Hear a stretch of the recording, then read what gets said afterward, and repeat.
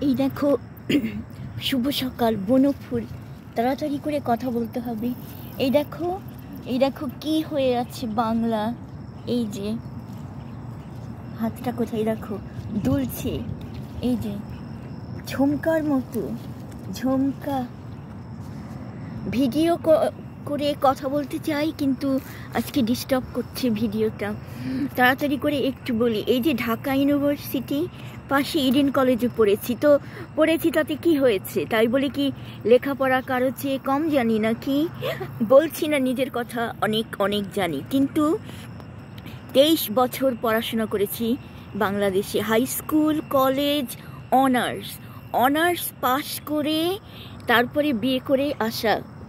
মানে অনার্স পাশ করেছ, এখন বিয়ে করো। এটাই হলো আর কি family and teacher Bangladesh rule কিন্তু রুল কিন্তু চেঞ্জ করতে হয়।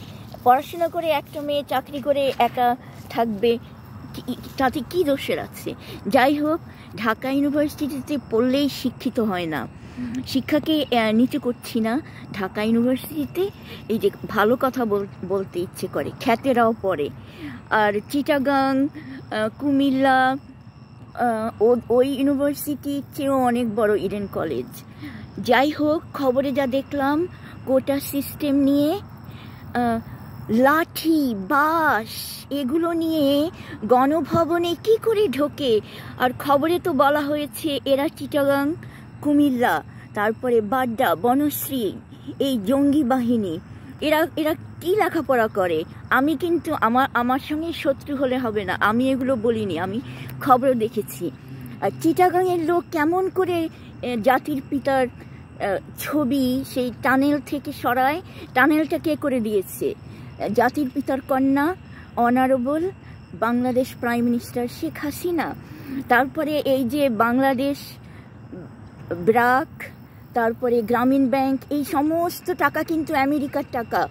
এরা আমেরিকা থেকে টাকা নিয়ে এক একটা সংগঠন করে, কিন্তু ক্রিসমাসের সময় মেরি ক্রিসমাস বলতেও এদের দোষ হয়। তো কোটা নিয়ে কিসের বৈষম্য? বুঝলাম না তো।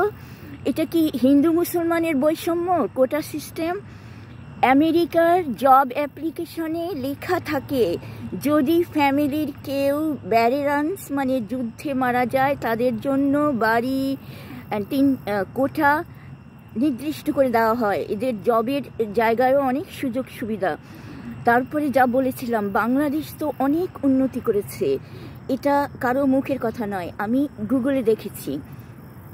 তারপরে আমার ইডেন কলেজের অনার্স বছর পিছিয়ে গিয়েছিল এই গোলা বারুদ গণ্ডগোলের জন্য।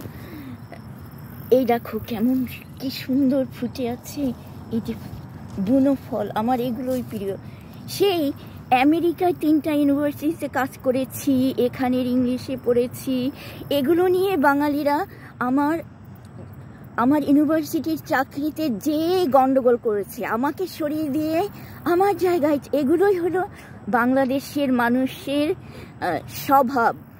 শুধু বাংলাদেশি ইউটিউবে এসে ইন্টারভিউ বিদেশিরা আছে? বিদেশিরা বিদেশিরা কেন? বাংলাদেশিরা বিদেশে যে কি বলে, ওই কোনায় কোনায় বাংলাদেশের সরকার আর বাংলাদেশের নামে বদনাম করে। এইটাই হলো এদের চরিত্র।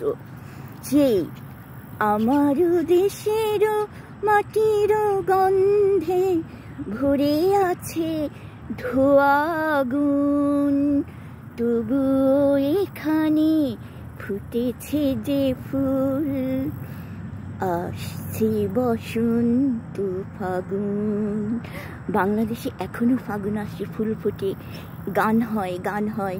কিন্তু মানুষের মনে ভালোবাসা নেই। মানুষকে কেটে ঝুলিয়ে রাখে। কি করে বলো এরা ভালো মানুষ? আর আমার অনার্সের সার্টিফিকেটটা এসেছে ঢাকা ইউনিভার্সিটি থেকে। ইডেন কলেজে যখন পড়তাম, ভাষাতত্ত্ব পড়াতে আসতো ডক্টর রফিকুল ইসলাম ইউনিভার্সিটি থেকে। তো এগুলো নিয়ে কি আমি একটাও মিথ্যা কথা বলিনি? আমার পিছনে এমন লেগেছে, আমি এদেরটা খাইও না, পড়িও না।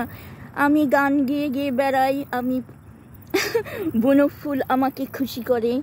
সেই আমার ইচ্ছা মতো আমি চলতে পারব না। আমার ইচ্ছা মতো আমি বাংলাদেশের মেয়েরা কি নাচ, গান, হোটেল চালায়। অ্যান্ড আমি আমেরিকায় বসে একটু গান, বাজনা, একটু নিজের মতো করে চলতে পারব না। সেই অনেক কথা হয়ে গেল।